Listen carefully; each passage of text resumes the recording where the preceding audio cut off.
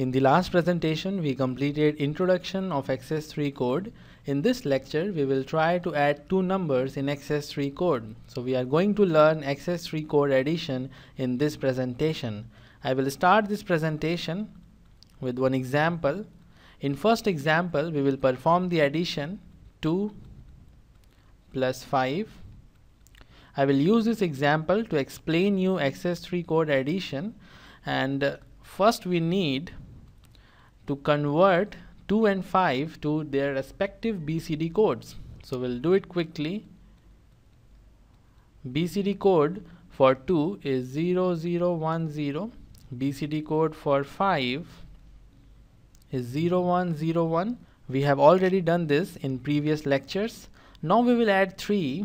We will add 3 to obtain XS3 code for 2 and 5. If you remember the last presentation, we converted the decimal number to BCD. This is BCD.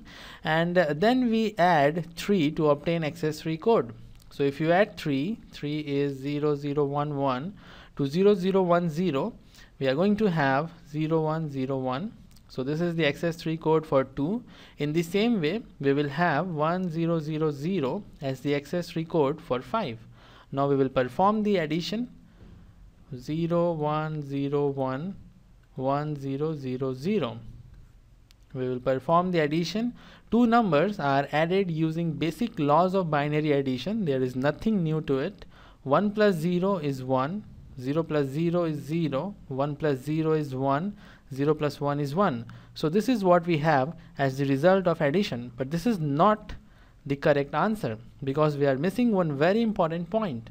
This number here is XS3 code for 2 this number here is XS3 code for 5 what does it means? It means we have excess of 3 in 2 and we have excess of 3 in 5 so we have excess of 6 in sum. Because when you add two numbers in XS3 the sum is going to be XS6 let's try to prove it. First I will perform the simple addition 2 plus 5 gives us 7 and then I will perform the addition with XS3 2 plus 3 is 5 5 plus 3 is 8 5 plus 8 is 13 now you can see this is XS3 for 2 this is XS3 for 8 but this is XS6 for 7 because 7 plus 6 is equal to 13 and the answer should be 7 plus 3 equals to 10 so what we can do? We can simply subtract 3 from the obtained result. This is sum. And we will subtract 3 from it to obtain the correct answer. So we are going to do the same thing. I will subtract 3 from the obtained result. 1 minus 1 is 0 0 minus 1 we have to take borrow. Borrow is 2 2 minus 1 is 1 as this position has given borrow we are left with 0 0 minus 0 is 0 and finally we have 1 so 1 0 1 0 is the correct answer for this example. And 1 0 1 0 is 10 in decimal so this is all for this example number one. Now we will move to next example. This next example is very important. This is very important example. And in this example, we have to perform the addition 27 plus 39. This is what we have to do in this example. First, we will find the equivalent BCD codes for 27 and 39. 27 and 39 for 27 the BCD code is 0010 this is for 2 and for 7 we have 0111 for 39 we have 0011 9 is 1001 so these are the BCD codes for 27 and 39 now we will add 3 we will add 3 to each of these groups.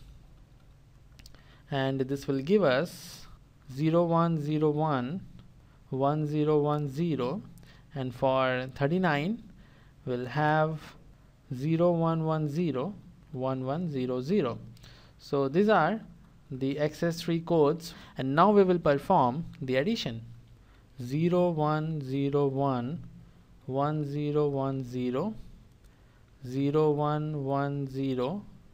1 1 0 0 0 1 1 0 1 1 0 0 this is very important so please pay attention. I will make two groups.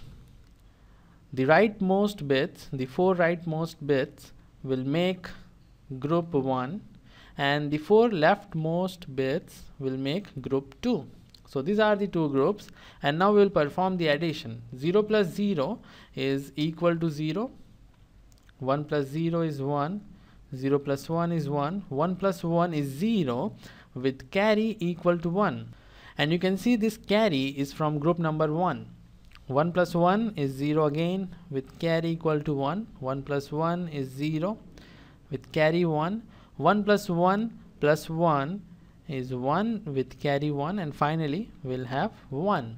The answer obtained is incorrect and we have to correct it. Let's see how we can do this. We will focus on group number 1 and group number 2.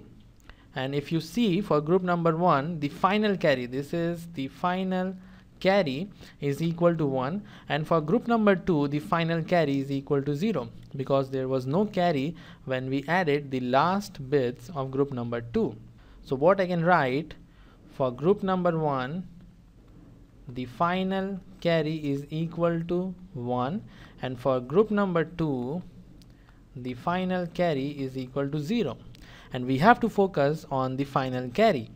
Whenever the final carry is equal to 1 we will add we will add 3 to it.